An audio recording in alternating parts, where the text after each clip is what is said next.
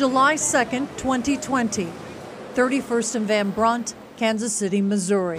Officer Tyler Moss and his partner respond to reports of a man waving a gun at a McDonald's. And we get those types of calls all the time, and a lot of them turn up to be nothing, but you still have to treat every situation that, it, you know, it could be your last situation. During the confrontation with the suspect, Officer Moss is shot in the head. He's been with the department just two years. Went in right here, right around my right eye, went in, bounced off the back of my skull, and it's kind of sitting in the middle of my head somewhere now. Yeah, so I mean, how many people can say, hey, I still got a bullet in my head? The injury so severe, doctors gave Tyler less than a 10% chance of surviving. He spent three weeks at Truman Medical Center under heavy sedation. When he finally opened his eyes, his Yeah, it was a mom was at his bedside, and she had a question. Me, she's like, hey, do you know what happened to you? And I was like, yeah, I I think I was in a bike accident.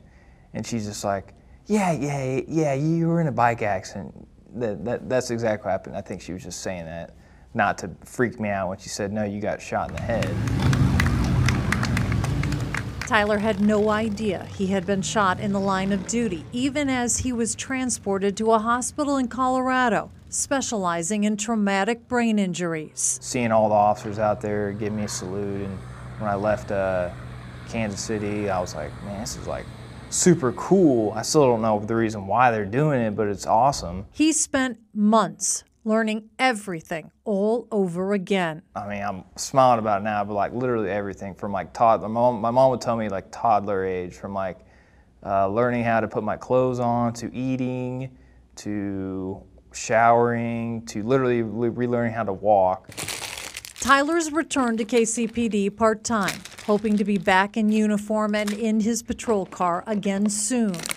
But he's grateful for his new perspective on his new life. You have your good, your good things happen to you. You have your bad things happen to you. But what are you going to do to get out of that? There's a purpose for everything. So.